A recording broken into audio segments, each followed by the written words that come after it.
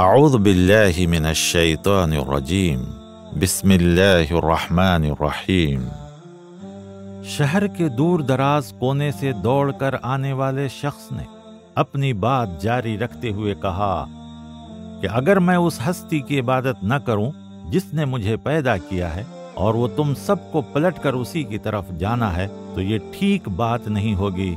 क्या मैं उसे छोड़कर दूसरों को मबूद बनाऊँ? उस नसीहत के नतीजे में शहर के लोगों ने उसे ये कहते हुए पत्थरों से मार कर हलाक कर डाला कि जा, जन्नत में चला जा। उसके बाद अल्लाह ताला ने आसमान से उसकी कौम पर कोई लश्कर नहीं उतारा। वो तो बस एक ही धमाका हुआ था और पूरे शहर के लोग बुझ कर रह गए। जब लोगों से कहा जाता है कि जो रिज अल्लाह ने तुम्हें अता किया, उसमें से कुछ अल्लाह की राह में खर्च करो तो कुफ्र करने वाले, ईमान लाने वालों से पूछते हैं, क्या हम उन्हें खिलाएँ? जिन्हें अल्लाह चाहता तो खुद ही खिला देता। ये लोग तो खुली गुमराही में पड़े हुए हैं। मजीद वो पूछते हैं कि ये क्यामत कायम होने का वादा कब पूरा होगा? बताओ, अगर तुम सच्चे हो, दरअसल वो तो बस एक धमाका है जो उन्हें पकड़ लेगा, जबकि वो आपस में ही झगड़ रहे होंगे। जब सूर फूका जाएगा तो सब के सब अपनी कब्रों से निकल पड़ेंगे और रब के हुजूर पेश होने के लिए उजलत में चल पड़ेंगे। वो कहेंगे, हाय अफसोस, ये किसने हमें अपनी कब्रों से उठाकर खड़ा कर दिया? उस दिन किसी शख्स पर जर्रा बराबर भी जुल्म नहीं किया जाएगा और तुम्हें वैसा ही बदला दिया जाएगा जैसे आमाल तुमने किए थे। जन्नत में रहने वाले मज़े करने में मशगूल होंगे। वो और उनकी बीवियाँ घने सायों में नर्म मसनदों पर तकिए लगाए बैठे हों। इन्हें हर किस्म के मेवे मुहैया होंगे, और जो कुछ भी वो तलब करेंगे, वो हाजिर किया जाएगा।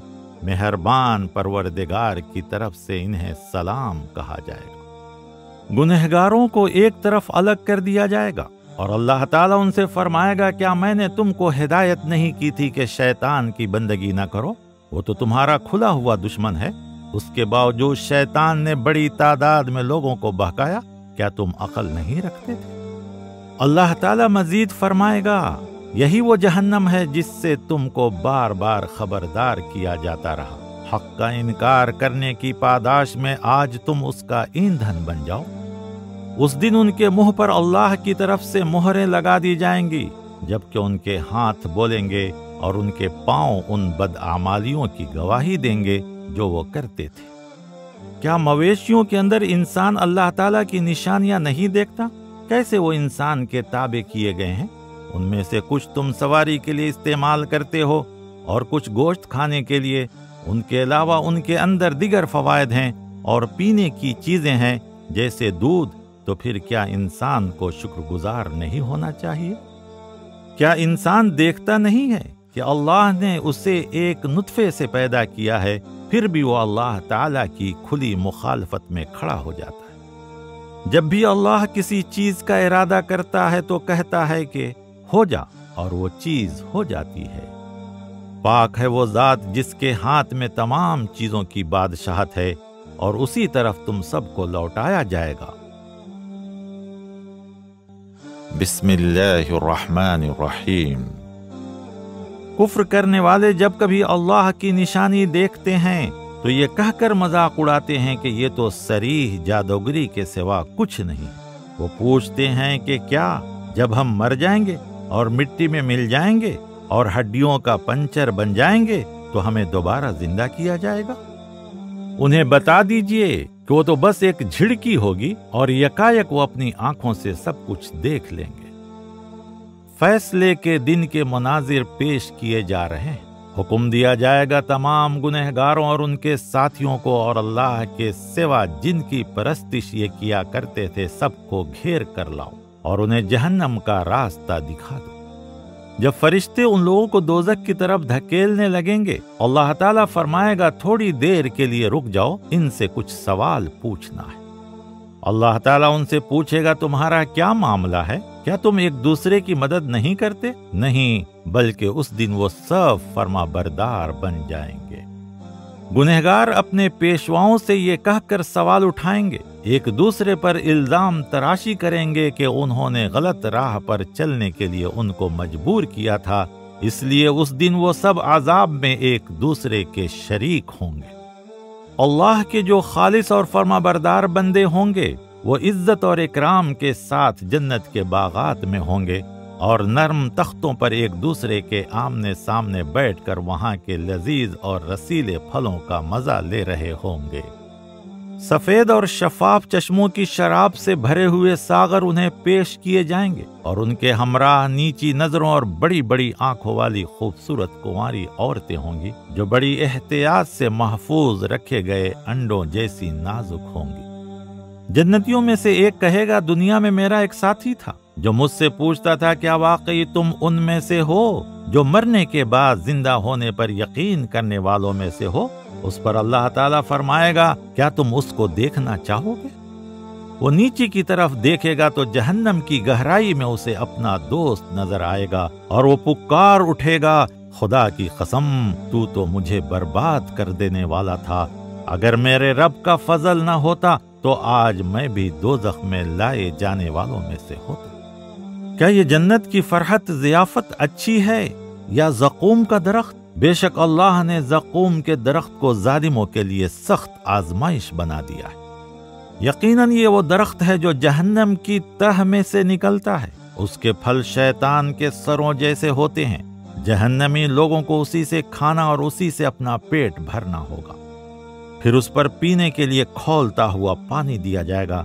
फिर उसके बाद उन सब की वापसी दोजख की आग की तरफ़ होगी। यकीनन उन्होंने अपने बाप दादा को बहका हुआ पाया था और ये उन्हीं के नक्शे कदम पर दौड़ते रहे। नू सलाम के बारे में याद दहानी की जा रही है और बताया जा रहा है कि किस तरह अल्लाह ताला ने नू सलाम और उनके साथियों को करबे अजीम से बचा लिया अल्लाह ताला ने उन्हीं की नस्ल को सैलाब के बाद बाकी रखा और अल्लाह ने बाद की नस्लों में उनकी तारीफ़ व तौसीफ बाकी रखी, तमाम जहानों में नू सलाम पर सलाम।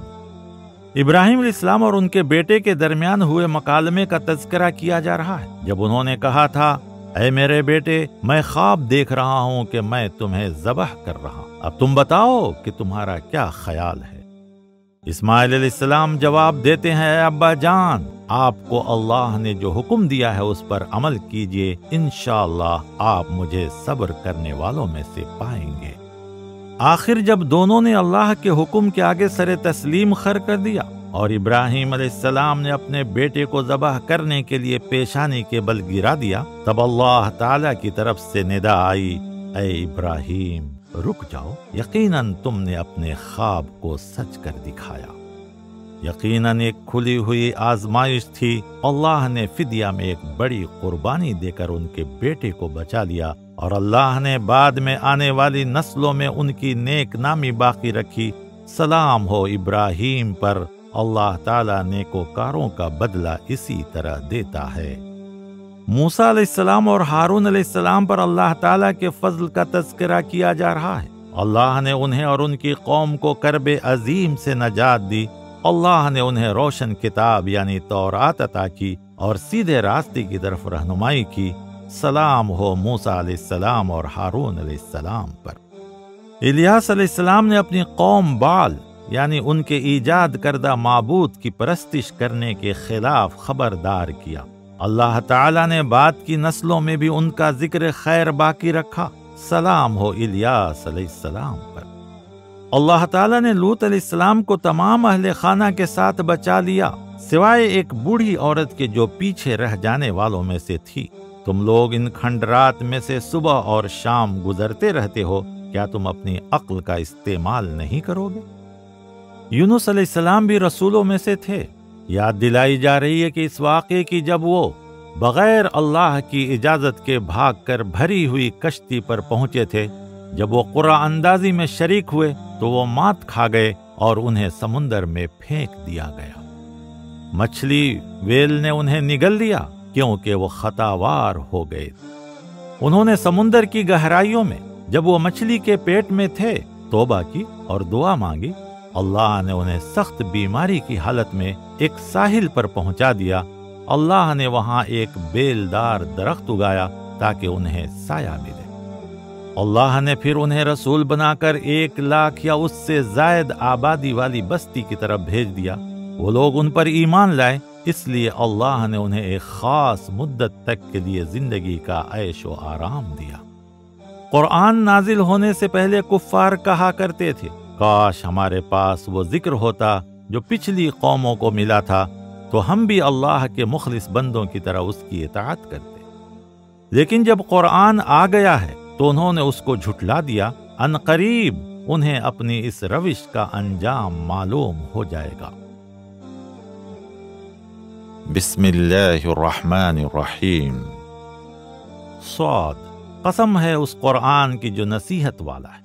यकीनन कुफार सख्त तकबर और जिद में भरे हुए दाऊद इस्लाम का तस्करा किया जा रहा है। वह हर मामले में अल्लाह की तरफ़ रुजू करने वाले थे। अल्लाह ताला ने पहाड़ों और परिंदों को उनके साथ अल्लाह की तस्बीह करने में शामिल कर दिया था। दाऊद इस्लाम और एक मुकदमा के दो फरीकों का किस्सा बयान हो रहा है। जब वो दोनों, जो कि असल में फरिश्ते थे, दीवार फांद कर दाऊद सलाम के मेहराब में दाखिल हो गए। उन्हें देखकर दाऊद सलाम घबरा गए, लेकिन उन्होंने कहा, डरो नहीं, हम दोनों एक मुकदमा के फरीक हैं, हमसे एक ने दूसरे पर ज्यादती की है, बस आप हमारे दरमियान हक के साथ फैसला कीजिए। वो दोनों भाई थे, उनमें से एक ने कहा, इसके पास निन्यानवे दुम्बियाँ हैं, जबकि मेरे पास एक दुम्बी है। फिर भी कहता है कि वो एक दुम्बी भी अपने हवाले कर दे, उसने बहस में मुझे दबा लिया है।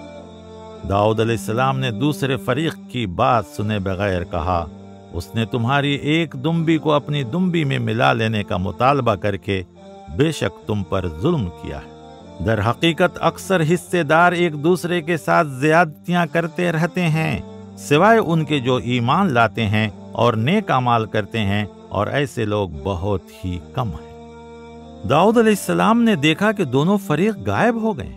तो समझ लिया कि अल्लाह की तरफ़ से ये उनकी आजमाइश थी। और अपने ही मेयार पर खुद को जांचते हुए उन्होंने अपने आप को कसूरवार तस्वुर किया। चुनाच वो अपने रब से माफ़ी तलब की और आजजी के साज सजदे में गिर गए और तोबा के लिए अल्लाह से रुजू किया। यहाँ पर सजदा है। अल्लाह ने उनका कसूर माफ़ कर दिया और उनसे फरमाया ए दाऊद, हमने तुम्हें ज़मीन में खलीफा यानी हुक्मरान बनाया है, लिहाजा लोगों के दरमियान तुम हक के साथ हुकूमत करो और अपनी नफसानी ख्वाहिशात की पैरवी न करो। दाऊद सलाम को अल्लाह ताला ने सुलेमान जैसा बेटा अता किया, जो एक बेहतरीन बंदा था। इस बात का तस्करा किया जा रहा है, जब सुलेमान इस्लाम आला नस्ल के घोड़ों का मुआयना कर रहे थे, जो जंग में इस्तेमाल होने वाले थे उन्होंने कहा कि यकीनन मैंने अपने परवरदिगार की याद की वजह से इस बेहतरीन माल के लिए अपने दिल में मोहब्बत महसूस की है।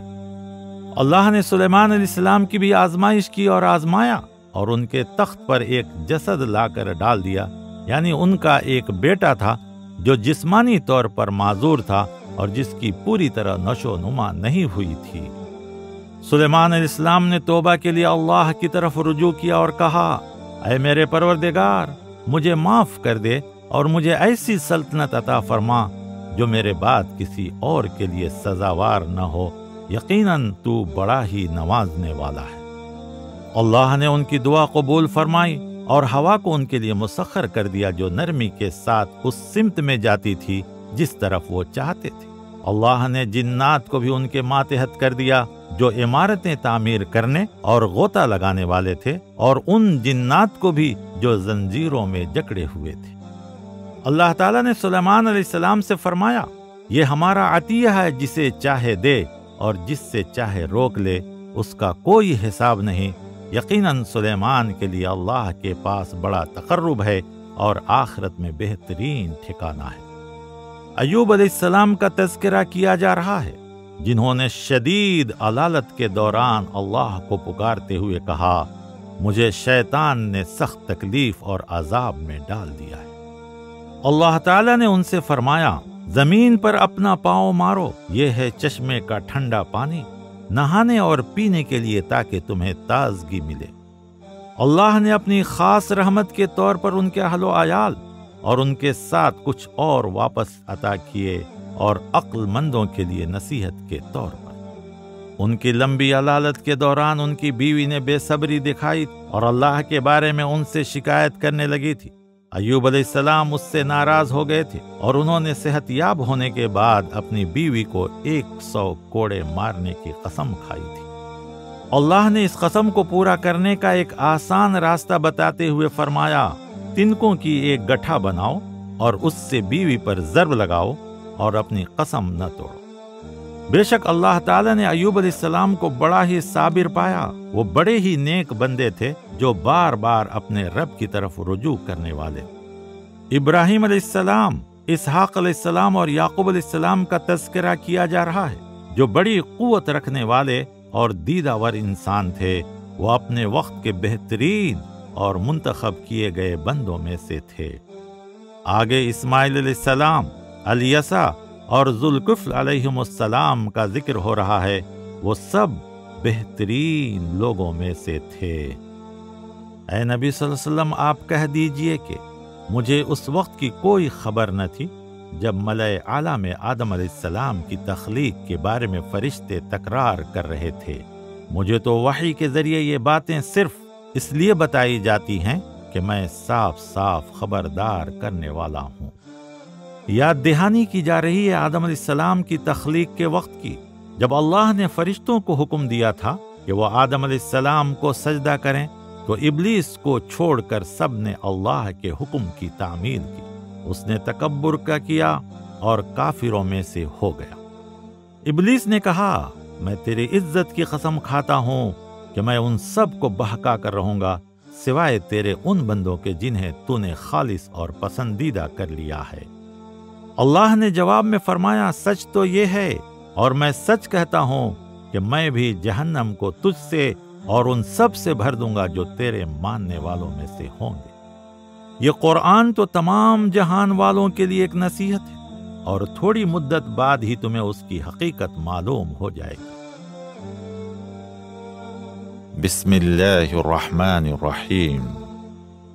इस किताब यानी कुरान का नजूल अल्लाह की तरफ़ से है जो ज़बरदस्त और हिकमत वाला है। अल्लाह ने तुम सबको एक ही जान से पैदा किया है, फिर उससे उसका जोड़ा पैदा किया। अल्लाह तुम्हारी माओ के पेट में तुमको तीन तीन तारीख पर्दों के अंदर मरहरावार एक के बाद दूसरी शक्ल देता चला जाता है। यानी औरत के बच्चे दानी के अंदर जनीन एक झिल्ली में लिपटा हुआ होता है और बच्चा दानी पेट के अंदर मौजूद होती है, इसलिए यहाँ तीन तारीख पर्दों का हवाला दिया गया है। यही अल्लाह तुम्हारा रब है और बादशाहत उसी के लिए है। उसके सिवा कोई भी इबादत के लायक नहीं है, फिर तुम उससे दूर होकर कैसे बहक सकते हो? काफिरों के लिए आग के सायबान उनके ऊपर छाए होंगे और उनके नीचे भी आग के शोले होंगे। यही वो अंजाम है जिससे अल्लाह ताला अपने बंदों को डराता है। वो लोग अपने रब से हकीकी मानों में डरते हैं। उनके लिए बुलंदोबाला इमारतें हैं जो मंजिल ब मंजिल बनाई गई होंगी, जिनके नीचे नहरें बह रही होंगी। ये अल्लाह का वादा है और अल्लाह अपने वादे के खिलाफ वर्जी नहीं कर अल्लाह ने एक बेहतरीन कलाम उतारा है, एक ऐसी किताब, यानी कुरान जिसकी आयात मुतवातिर हैं फिर उसके मजामीन मुख्तलिफ़ तरीकों के दोहराए गए हैं, जो अपने रब से डरने वाले हैं। अल्लाह की आयात को सुनकर उन लोगों के रोंगटे खड़े हो जाते अल्लाह ने इस कुरान में लोगों के लिए तरह तरह की मिसालें बयान की हैं, ताकि वो सबक हासिल करें।